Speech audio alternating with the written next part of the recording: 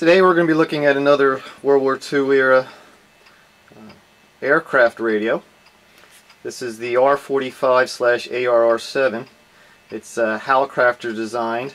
It's the, basically the airborne version of the SX-28.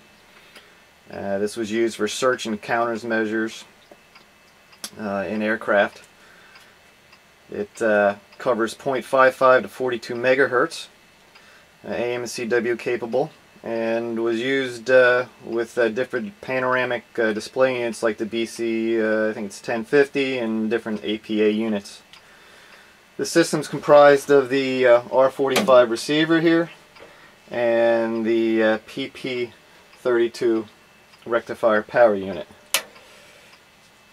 What is interesting in this model here is that it's motor driven tuning which enables it to sweep the entire band or portions of the band. So we've turned it on, picking up the station here. You can see the S meter deflection. And uh, what we're going to do is show you how the motor drive works. It's done through a series of cams here, or adjustable cam stops, more likely.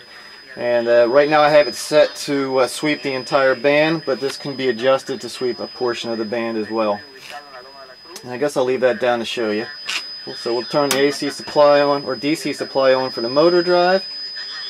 And give it a little more volume. Put the BFO on. And it gives it a little easier to hear the stations, and there you go.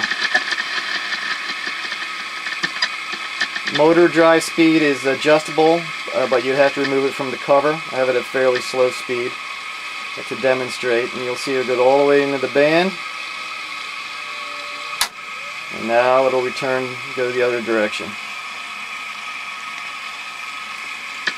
And as you can hear, you can hear the different signals as it sweeps past them.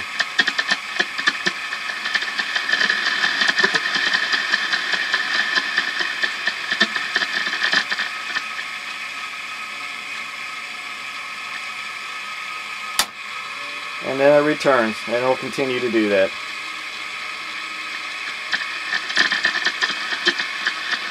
So there you have it. There's the ARR7.